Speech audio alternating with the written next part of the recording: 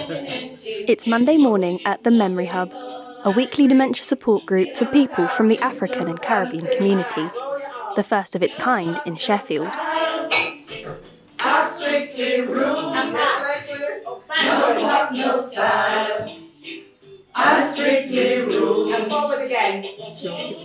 Today, Michael Neokleous from the music department at the University of Sheffield is showcasing his instrument designed specifically for people living with dementia. And now you can play. Music can benefit people with dementia in a number of different ways. So it can either help sort of rekindle memories and provide opportunities for conversations with loved ones and talking about the past, uh, and in a way reconnecting to oneself.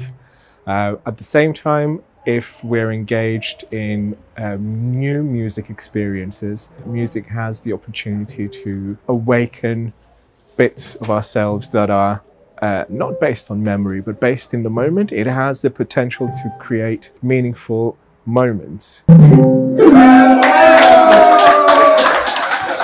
The members of the Sheffield Memory Hub are key to the whole process of uh, developing and designing. So they're not just product testing, but they are co-creating with me different features and operations. What the music departments are developing, they're developing new instruments. Yeah, new instruments whereby you do not have to have a musical background in order to be able to engage with them and to create music.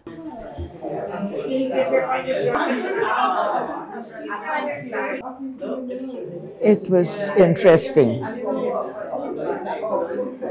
It has added something else to life.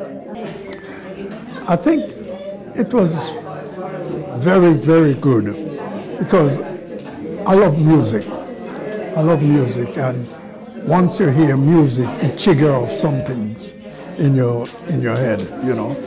What I love about this instrument as well um, is couplehood, in the sense that partners, whether husband and wife or just good friends, they can both engage in it on a, met, uh, on a level of parity and, and create new music. And you know, some of the music was a engaging and listening. We play down here some of the tunes I haven't heard for many, many years, many, many years. So yeah, music does play a key part.